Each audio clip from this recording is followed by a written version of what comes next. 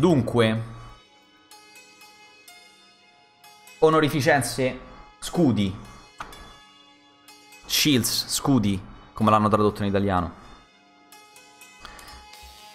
Come vedete sono stati messi qua, scudi della divisione sono stati messi prima de delle onorificenze, quindi li trovate qui in questa, in questa parte del, del menu.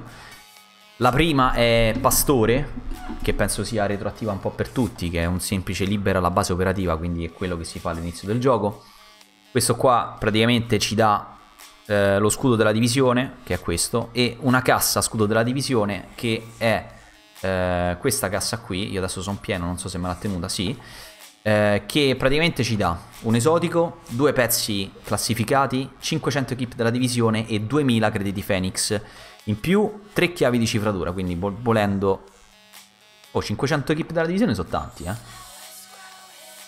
Sono tanti. Buono. Buono a sapersi, buono a sapersi. Questa roba qui... Uh, vediamo le altre, vediamo le successive. Come vedete le altre sono bloccate. Allora, ci sono le prime 4 che sono state eh, sbloccate adesso con la patch 1.8.2. Le altre, tutte le altre, saranno messe a disposizione ogni mese da qui fino all'uscita del, del gioco di, di, di, di, Division 2. Quindi queste 4 le possiamo già fare questo mese e poi le altre una per mese, piano piano, ce le sbloccheranno. Non, non, non ci hanno ancora detto quando, probabilmente andranno a braccetto ogni volta che ci sarà un evento globale. Quindi ogni volta che ci si, si attiverà un evento globale eh, ci sarà anche nuova, il nuovo scudo da prendere. Come vedete poi ogni scudo da sbloccare ha la sua, ehm, il suo audio da sentire. Quindi questa roba qui poi ce l'andiamo a sentire con calma. Andiamo a vedere le altre che cosa fanno. Allora, pericolo chiede di fare 25 riferimenti nella zona nera. Questa roba qui non è retroattiva, quindi come vedete eh, io sono a 0 di 25 perché naturalmente sono entrato adesso, non ho ancora fatto niente. Eh, 25 riferimenti, i classici riferimenti, raga, eh, insomma ve li faccio vedere, ma è eh, abbastanza chiaro per tutti. I riferimenti sono quelli viola. Come vedete c'è già gente che sta farmando, barricata, eh, cantiere, negozio sportivo, stazione di servizio, eccetera, eccetera. Questi sono i riferimenti, quindi questo qui sarà il secondo scudo da prendere.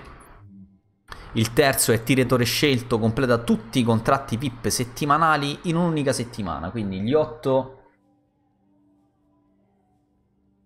contratti VIP che ci sono ogni settimana, che li potete andare a prendere qua, classici, ufficiali contratti VIP settimanali e non giornalieri, settimanali, sono otto di solito e dovete farli tutti in un'unica settimana. Sono relativamente abbastanza semplici se avete una build decente, e quindi questi qua si possono fare tranquillamente.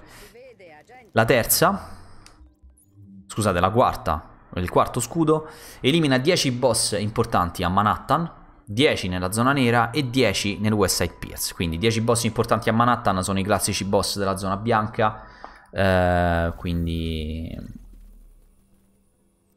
Bullet King e compagnia bella, insomma, li trovate sempre in giro sulla mappa. Soliti posti. 10 boss nella zona nera li trovate all'interno dei riferimenti, la maggior parte. Ce n'è ancora ce n'è qualcuno che magari, come questo qua, che, che è all'interno del vicolo e non, eh, non ha un suo riferimento. Però boss in zona nera li trovate così. E quelli del West Side Pierce invece sono random, quindi andate in giro a West Side Pierce, vi fate in giretto e piano piano li trovate i boss. Questi sono gli shields. Come vedete le ricompense sono sempre la cassa scudo della divisione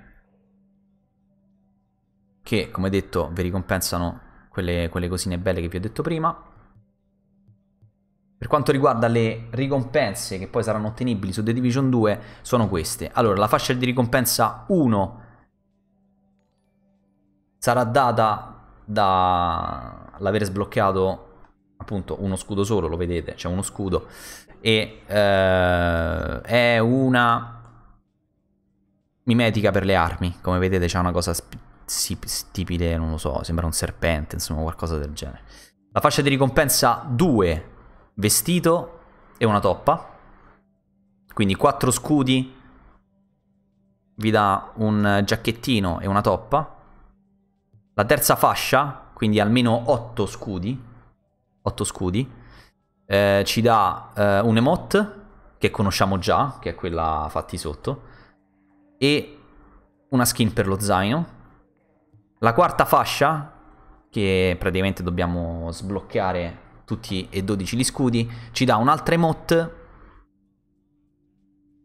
e un tatuaggio? Cos'è? Un tatuaggio? Penso di sì. Cos'è? È un pupazzo. Pupazzetto. Non si capisce bene perché come vedete è... Queste sono le ricompense. Naturalmente sapevamo già che le ricompense che si ottenevano tramite gli scudi erano eh, ricompense estetiche. Eh, sinceramente mi aspettavo che almeno le emote fossero diverse da quelle che già abbiamo visto su The Division 1. Eh, però, vabbè, poco male le skin, insomma tutta roba estetica, roba che insomma quando arriveremo su The Division 2 diremo ah vedi io sono un nerd di The Division, quindi ci sta. Questi sono gli scudi, raga. Li riguardiamo velocemente, se volete. Libera la base operativa, come vi ho detto, è retroattivo. Completa 25 riferimenti nella zona nera. Completa tutti i contratti VIP settimanali in un'unica settimana. Elimina 10 boss importanti a Manhattan, quindi nella zona bianca, 10 nella zona nera e 10 su Westside Pierce. Gli altri, come detto, sono bloccati, saranno bloccati, eh, saranno sbloccati uno al mese e la cassa che riceveremo su The Division 1 ci ricompenserà, come detto, con un esotico, due pezzi ehm, classificati, 500 equip della divisione, 2000 crediti Phoenix e 3 chiavi cifratura che poi potete andare a spendere eh, qua giù per comprarvi, se volete, le casse per prendere roba nuova. Roba nuova, roba nuova. Come vedete c'è la nuova cassa, c'è la modello 4. Nella modello 4 trovate eh, i set comando tattico, vita del nomade, pattuglia di ricognizione e chiamata della sentinella. Non vi aspettate grandi cose perché le abbiamo già viste in foto e sono tutti più o meno uguali, quindi non sono niente, niente di speciale. Scudi fatti, raga. Questi sono gli scudi.